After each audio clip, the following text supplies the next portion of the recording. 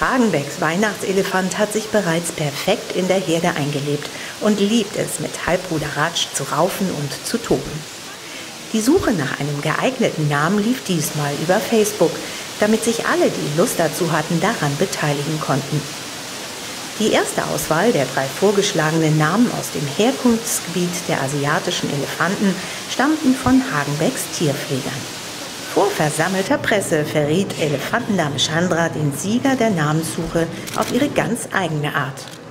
Insgesamt hatten 5321 Tierfreunde auf Facebook abgestimmt und wollten jetzt mehr über den Weihnachtselefanten erfahren.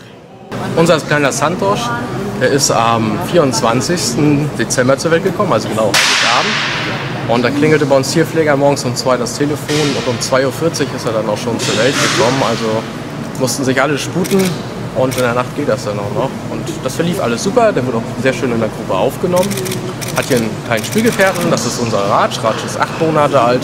Und er freut sich natürlich tierisch, mit ihm jetzt das Gehege zu erkunden, alles zu zeigen, wo man raufklettern kann, wo man Faxen machen kann, wo man runterrutschen kann, Flachwasserzone ablaufen. Da kann man Luftblase ins Wasser pusten und nur so ein Blödsinn. Nach alter Hardenbeck-Tradition wurde der kleine Elefant mit Kokosmilch offiziell getauft. Doch Elefantenpfleger Michael Schmidt musste mehrere Versuche unternehmen, bis er nah genug an Santos herankam, um ihn mit der Milch zu übergießen. Ganz geheuer war dem Kleinen die klebrige Dusche nicht. Er versteckte sich lieber unter Mama Leisings Bauch. Wichtigster Sparingspartner für Santos, was so viel heißt wie Glück und Freude, ist sein acht Monate älterer Spielkamerad Raj.